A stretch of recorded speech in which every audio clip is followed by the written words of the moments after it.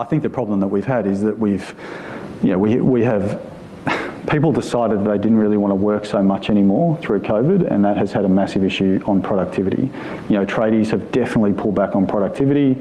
You know, they, they have been paid paid a lot to do not too much in the last few years, and we need to see that change. We need to see unemployment rise. Unemployment has to jump 40, 50% in my view.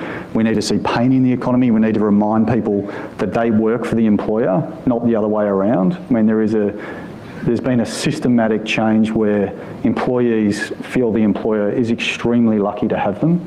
Um, as opposed to the other way around. So it's a dynamic that has to change. We've got to kill that attitude, and that has to come through hurting the economy, which is what the whole global, you know, the, the world is trying to do. The governments around the world are trying to increase unemployment to get that to some sort of normality. And we're seeing it. I think every employer now is seeing it. I mean, there is definitely massive layoffs going off. People might not be talking about it, but people are definitely laying people off, and we're starting to see less arrogance in the employment market, and that has to continue because that will cascade across the cost balance.